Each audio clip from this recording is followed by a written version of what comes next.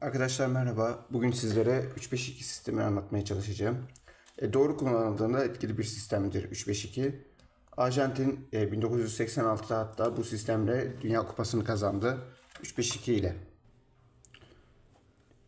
Üçlü stoper burada görüldüğü gibi orta sahaya e, yakın oynar. Resimde de görüldüğü gibi orta sahaya yaklaşır. Oyuna e, buralarda görüldüğü gibi genişlik kazandırır. Bu da iyi pas atılmasını sağlar. Bu şekilde ileriye dönük pasların iyi pas atılmasını sağlar. Üçlü stoperle oyuna e, genişlik kazandırılır. Kanat bekler oyuna geniş oynarken aynı zamanda rakibin kontra atağa çıkmasını da engellerler. Önde baskı yaparlar bu şekilde. Buralarda görüldüğü gibi boş alan yaratmamaya çalışırlar. Gördüğünüz üzere boş bir alan görünmüyor. Bu şekilde rakibe e, şans verilmez. Bundan dolayı da rakip kısa paslarla çıkmak yerine uzun toplarla çıkmaya çalışır. 3-5-2'de önemli rollerden birisi de kalecinin de etkin olduğu rollerdendir. Kaleci öne çıkar. Adeta bir ünlü bora gibi duran, ilerleyen ataklarda e, oyunu yönlendiren, oyunu kuran etkenlerden birisi de kalecidir. Kaleci de ön plana çıktığı görülür. 3-5-2 sisteminde. 3-5-2'nin amaçlarından bir tanesi de e, sahada daha fazla orta saha oyuncusu bulundurarak topun kontrolünü elinde tutmayı hedefler. Çift forvetler de e, daha fazla gol şansı elde eder. Çift forvet ve orta saha ile birlikte etkili bir sistemdir. Alanı boşaltmaya yönelik oynanır. Bunu demiştik. Alanları boş, alanları etkili kullanmaya çalışır 3-5-2'de sistem. Rakibi kendi yarı sahasına yıkmaya hedefler. 3-5-2 ile alan yaratmamaya rakip için rakibi kendi yarı sahasına hedef, yıkmayı hedefler ve rakibe boş alan vermemeyi hedefler. Ön alanda baskı kurmayı hedefler. 3-5-2 burada da görüldüğü gibi.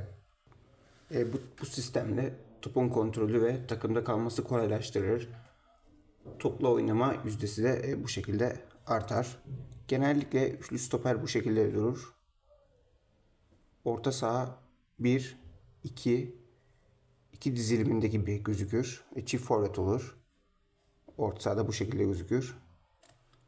E, rakibin hücuma geriden kurmaya başlarken durdurma ve kaleye yakın konumda yeniden hücuma başlatmayı kolaylaştırır bu sistem.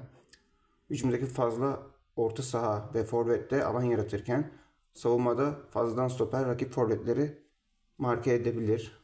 Gördüğünüz üzere fazladan stoper olduğunda rakip forvetleri için e, sıkıntı oluşturabilir.